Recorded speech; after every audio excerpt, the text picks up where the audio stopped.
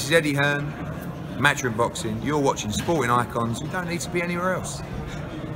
All right, everyone, I hope you're all having a brilliant day. Now, for those of you who don't know, you now will know that Anthony Joshua and Andy Ruiz Jr., the press conferences, first one will be on Wednesday in Saudi Arabia, then Thursday in New York, and then Friday in London. Okay, so we're going to find out a whole lot more details as these days progress and get a lot more interviews and insight from both fighters and whoever else involved. So all good stuff.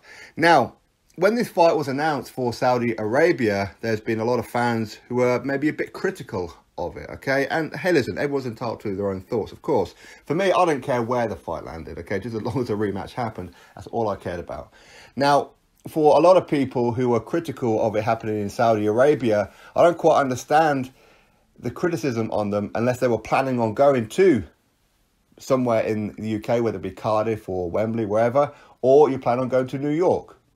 If you weren't planning on going, then why would you really be critical of a fight happening in Saudi Arabia? From my point of view, it's a case of Saudi Arabia, as far as the UK time zones are concerned, they are two hours ahead of UK, which means that ordinarily a ring walk in the UK is what 10, 10.30 at night, means it'll be 8, 8.30 in the evening. Okay, so that ain't too bad, right?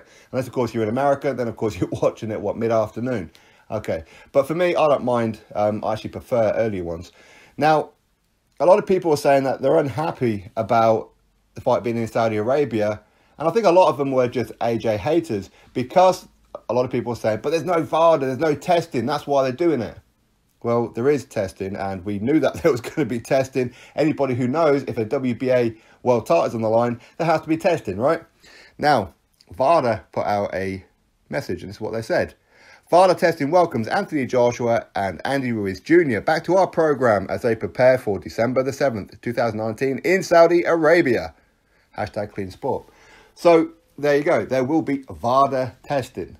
Not that um, a lot of people needed telling that, but a lot of people needed to be reminded that it is because a lot of people were concerned that there's no testing in Saudi Arabia. Not quite sure where they got that information from or why they said that, no idea whatsoever. But either way, there is testing. There was always going to be testing, okay? So that will squash all that part. Unless, of course, you're really a hater of Anthony Joshua say, oh, well, Eddie Hearn's to pay them. Okay, whatever. Now, this is a very, very interesting fight, that's for sure. It's arguably the biggest fight of the year. It's going to be for a historical point of view as well.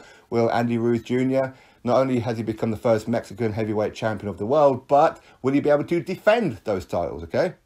Or will Anthony Joshua become a two-time heavyweight champion of the world, thus creating history in both sets of scenarios? Me personally, I believe Anthony Joshua is going to get the win and do it quite convincingly.